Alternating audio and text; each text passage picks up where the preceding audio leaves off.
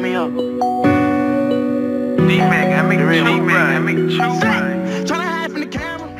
Hello and welcome to Middleware Friday for Friday, February 22nd, 2018. This is episode 54. And today we're going to be talking about monitoring cryptocurrencies using Microsoft Flow. So, just the standard disclaimer um, while I am a Microsoft employee, the opinions expressed in the following content are my own. And also, since I am talking about cryptocurrencies, I want to ensure that people know that this is not financial advice. There's no warranties about the solution I'm going to discuss. And this video is truly for educational purposes only. For those of you who may not be interested in cryptocurrencies and how you can monitor them, I do want to call out a few different patterns or techniques that I use inside of this example, which do have broad applicability.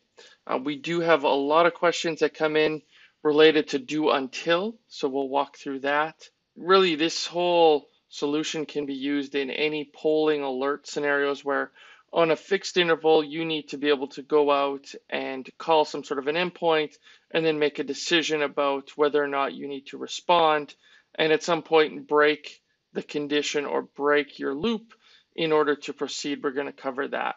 And lastly, another highly requested question is dealing with dates and how you can actually go ahead and perform date comparisons. So we're also going to take care of that as well as part of this example. So if you're new to cryptocurrency, um, something that you quickly discover is how volatile the market is. Chart represents is the overall market cap for cryptocurrencies that are being tracked by coinmarketcap.com. Now, what I've done here is I've taken essentially a year snapshot, and we can see the rise and fall of the total market cap and then also the volume. In its peak, it the market cap of cryptocurrencies reached more than 750 billion dollars. But we can see it also retracted back down to roughly 300 billion in the month of February. And since that time, it's now increased a little bit, but then it's pulled back once again. And just to add some additional data points, here is what the market cap looks like for Bitcoin, the most popular or the most valuable cryptocurrency that exists. And we can see its market cap over a period of three months. So here back in late November, it was hovering just above $120 billion USD. It peaked just under $300 billion in December, on December 18th, roughly and then followed by a sharp fall. And then it's really traded sideways uh, for most of the time since, but we have seen some significant drops, including mid January and early February. But we've seen some recovery coming back. But the point of all this is cryptocurrencies are extremely volatile. And it can be difficult to stay on track of it. Obviously, that there's uh, lots of money to be gained and lost in cryptocurrency. So a lot of people will sit on their computers or their mobile device and are constantly refreshing the screen, um, perhaps hitting F5, in order to get an updated view of the crypto market. Now, this isn't overly practical, especially if you have a job and want to focus, continue to focus on doing your job. So enter Microsoft Flow, which will monitor our crypto for us. And what this solution entails is we're going to go ahead and use the Flow mobile application. We're going to use a button flow. And we're then going to select our cryptocurrency that we want to track. And we'll provide a low threshold value and a high threshold value.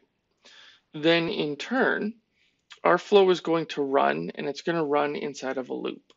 And it's going to go ahead and make a call out to an API hosted by CryptoCompare.com.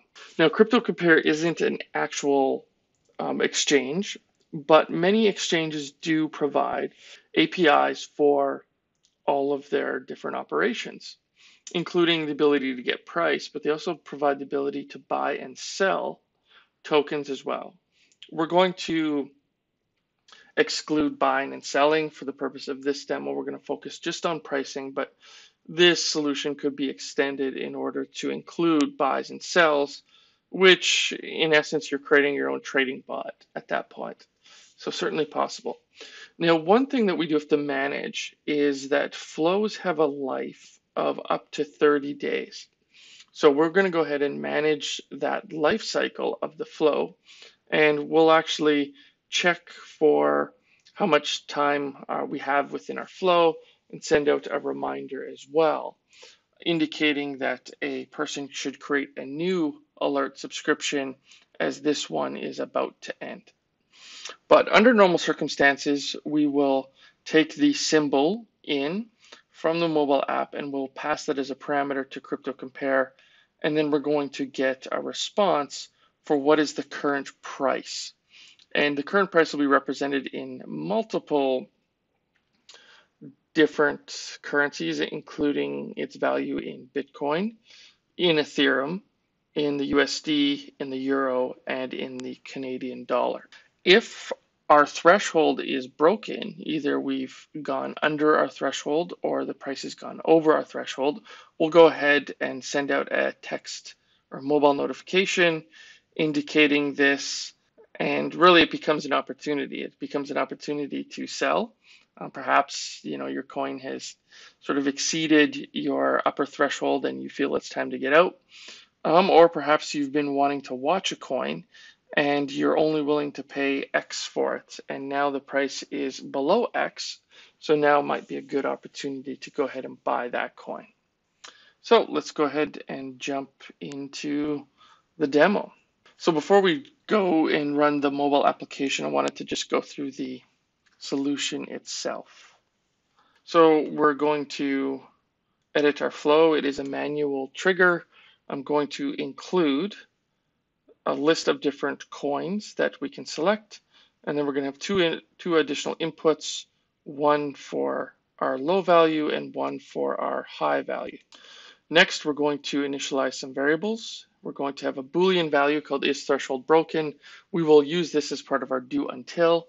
And essentially when this value gets changed to true, that'll be an indication that we should actually break our loop. I'm also going to include two variables to track our times. And we'll use this to determine whether or not our flow is about to turn into a pumpkin because we're nearing our 30 day interval or 30 day threshold for how long a flow can can stay alive. And we'll go ahead and achieve this by using the ticks, the ticks function. And the ticks function is represents 100 nanoseconds since January 1st, 1601.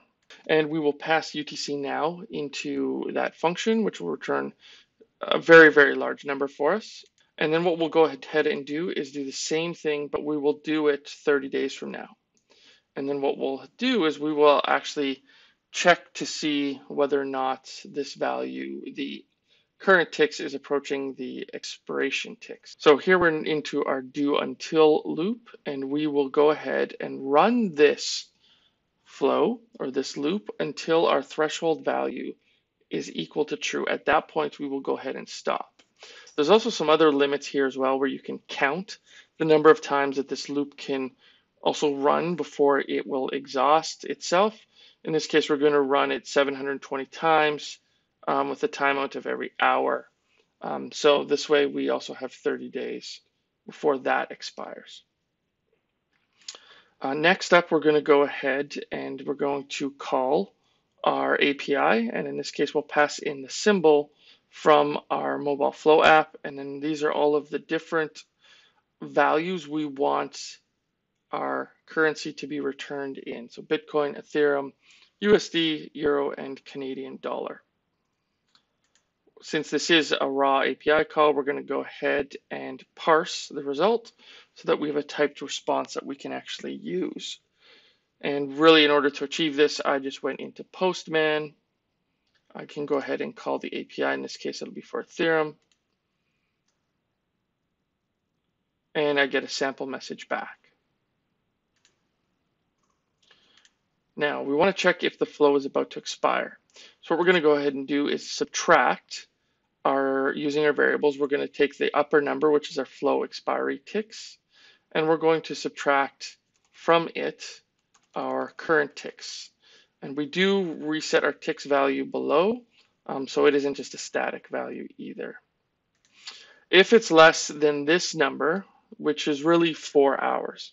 So if our flow runs and it is now going to expire within four hours, we will send out a notification indicating that our alert subscription is going to end in less than four hours.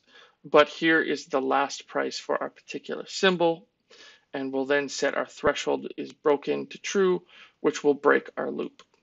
In the event that our ticks, our current ticks value is greater than four hours, we will go ahead and perform a check. Now, in this case, we will go ahead and see if our value, our upper threshold value is greater than our response in USD, or we will check to see if our low threshold value is lower than the current value in USD. If it is, that means our threshold has been broken. We will then go ahead and send out a mobile notification indicating symbol, um, what our threshold values are. And then in addition, we will return the, the price in USD, CAD, and Bitcoin. We will also at this point terminate our notification because really if you've already exceeded that, there's no point keeping it alive. You probably want to go ahead and create a new one. Uh, what we will also do is um, we will sleep for 15 minutes. And the idea of this is that we will, before we enter the loop again, we don't want to DOS this particular API and get throttled. So we're just going to have a reasonable sleep period uh, for that. And then lastly, we'll update our current ticks.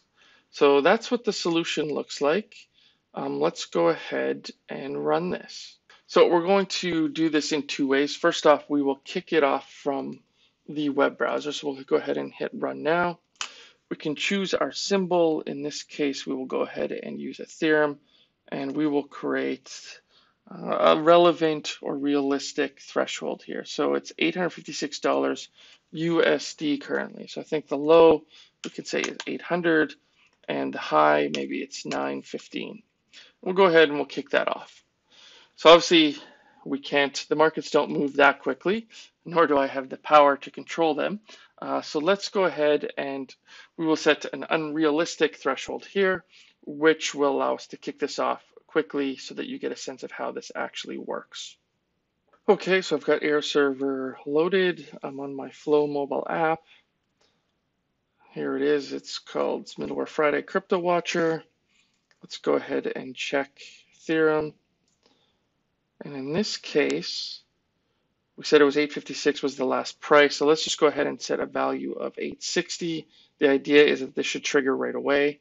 I will say the upper value is 920 and we'll go ahead and hit done. So we can see that the flow has started and sure enough, there we go. We get our mobile notification indicating that our threshold has been broken. So hopefully you found that demo entertaining. And uh, even if you're not in crypto, I hope that you learned uh, a few things, a few tricks, a few patterns that you can use for other notification scenarios. So thanks for watching Middleware Friday for another episode. Uh, Steef-Jan is up next week. He's actually in Tokyo this weekend running his marathon, so all the best to him. Thank you to BizTalk360 for being a great partner of the show. Um, if you haven't caught it, BizTalk360 announced that the next edition of Integrate is upon us in June in London. So go ahead and look for details on their website. Also, the MVP Summit is coming up here in early March, so Steef-Jan will be in town in Seattle. And we are planning to record a couple sessions as well.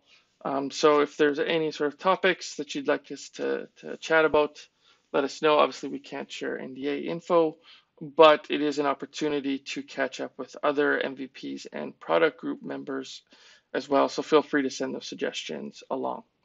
Thanks and have a great week, and we'll see you again on Middleware Friday.